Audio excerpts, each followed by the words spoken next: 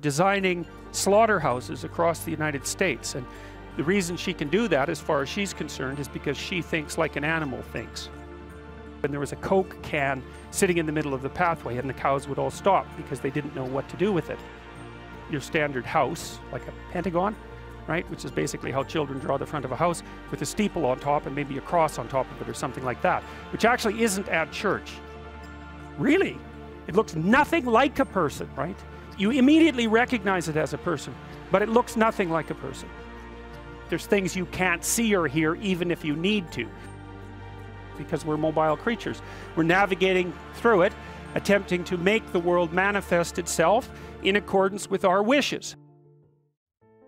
Now, here's something interesting. I went and saw an autistic woman speak at one point. Her name was Temple Grandin. She's really worth looking up. Temple Grandin is a very interesting person. She's very seriously autistic when she was a child, but her mother and her worked her out of it so that she's very functional. She works as a professor. I don't remember where. It's in the Midwest somewhere.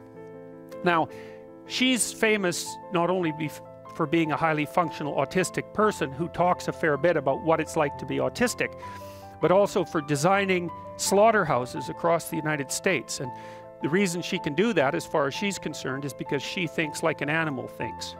She's identified maybe at least part of what the core problem is with autism.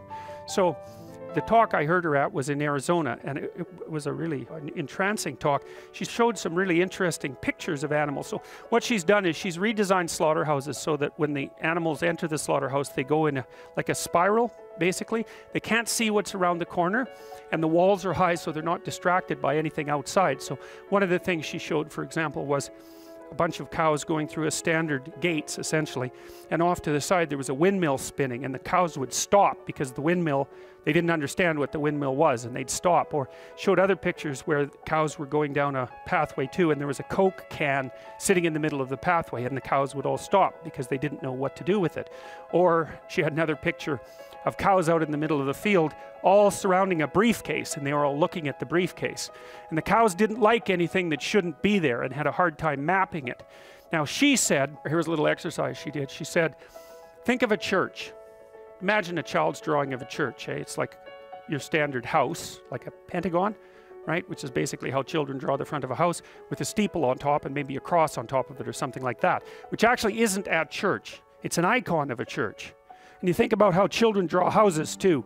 Pentagon, rectangle, what is it, trapezoid, chimney, almost always with smoke, which is quite interesting. I don't know where kids get that exactly, but they almost always draw a chimney with smoke, even though chimneys with smoke aren't that common anymore. But anyways, you can see what a child's picture of a house looks like in your imagination. One of the things that you might want to think about is that is not a picture of a house at all. It's an iconic representation that's kind of like a hieroglyph. Because no house looks like that. And then you think about how a child will draw a person circle, stick. And you show it to someone and go, that's a person. Really? It looks nothing like a person, right? You immediately recognize it as a person, but it looks nothing like a person. What Grandin said was that when she thinks of a church, she has to think of a church she's seen.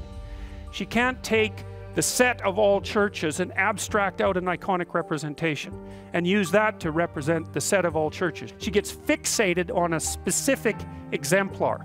And she thinks that one of the problems with autistic people, and they have a very difficult time developing language, by the way, is that they can't abstract out generalized representation across a set of entities. They can't abstract of course, if you can't abstract, then it's also very difficult to manipulate the abstractions. And you see very strange behavior with autistic children, for example. So they don't like people.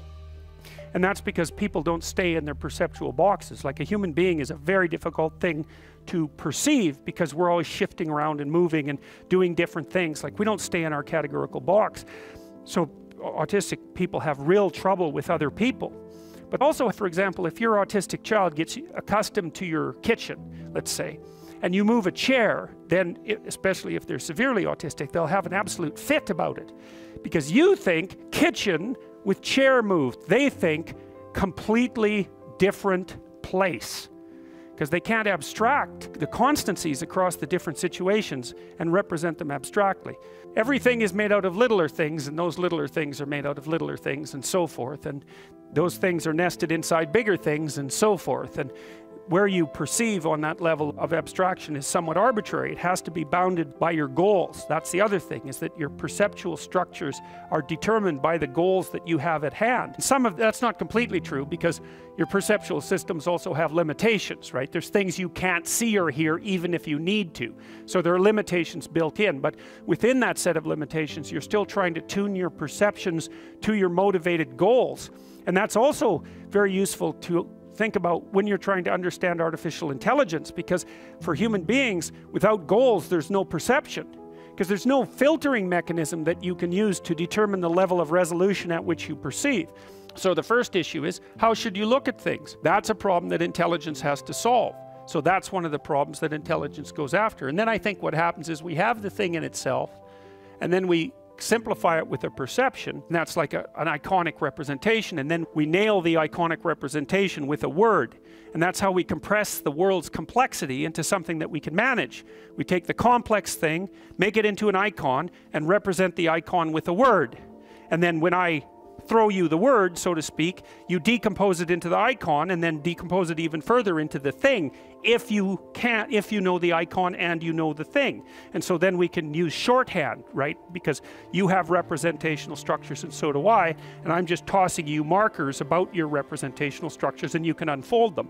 That's what you do when you're reading a novel because the novel comes alive in your imagination in your own idiosyncratic way and it wouldn't if you didn't understand the references of the novel. Novelist has to assume that your basic perceptual structures and your intuitions and your instincts are basically the same as his or hers. It's problematic often. For example, if you start reading Victorian novels, you may find that it takes a while to get into them because the presuppositions, the expectations are slightly different and so is the language. You have to update the representations. But Anyway, so that's roughly, as far as I'm concerned, that's roughly a representation of what intelligence is doing in the world. It's, or a big part of it. It's how in the world do you look at things so that you can use them for the purposes that you need to use them for. And then the next problem that intelligence has to solve, which is related, is once you've got the perceptual landscape sorted out, how do you abstractly represent the action patterns that you're going to implement in the world? So it's how do you perceive where you are now? How do you perceive where you're going? And how do you construct up and then implement strategies that enable you to move from where you are to where you're going? So it's a continual process of mapping and movement. And so it's navigation. That's what we're doing in the world all the time, is navigating through it because we're mobile creatures. We're navigating through it attempting to make the world manifest itself in accordance with our wishes. And that's the fundamental problem that intelligence has to solve. And animals have their perceptions to rely on, but we have our perceptions and our ability to abstract from those perceptions multiple times and then to abstract finally into language. So we live in a very abstracted world. And it also means that we can learn a lesson in one place and generalize it across many other places, which is also something that animals have a hard time doing because they don't know how to do that perceptual, initial perceptual generalization.